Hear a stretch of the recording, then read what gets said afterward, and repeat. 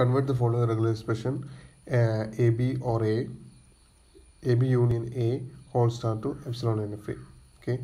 So so what we will do is that we will construct a epsilon nfa that accept a concatenated b then we modify it to accept a concatenated b union a then we modify that epsilon nfa to accept the given regular expression okay. So first uh, let us uh, consider the epsilon nfa that accept a concatenated with b. Okay. We already seen this uh, basic epsilon nfa that is uh, there will be an initial state. Okay. From the initial state we will add a transition to symbol a. Okay. And uh, this this should be this will be the final state of the nfa. But from that final state we will add an epsilon transition to the initial state of the nfa that at b okay? And this is the nfa that is at the string regular expression b okay? And we will make this final state of this nfa as final state okay? So this is this is the epsilon nfa that is accept ab okay?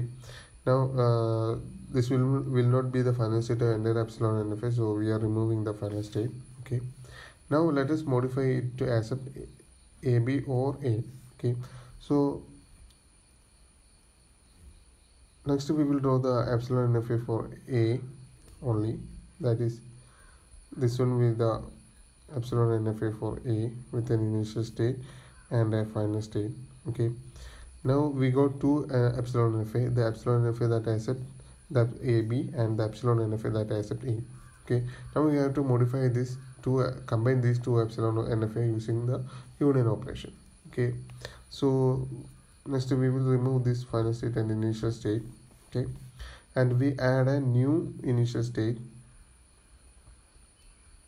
okay? And from the new initial state we add epsilon transition to both nfas okay? And we add a new final state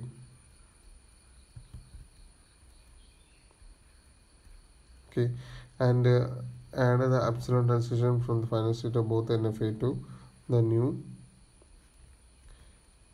final state okay now this is the epsilon nfa that I accept ab or AB union A. Okay, now we, have to modify this NFA to accept AB union A whole star.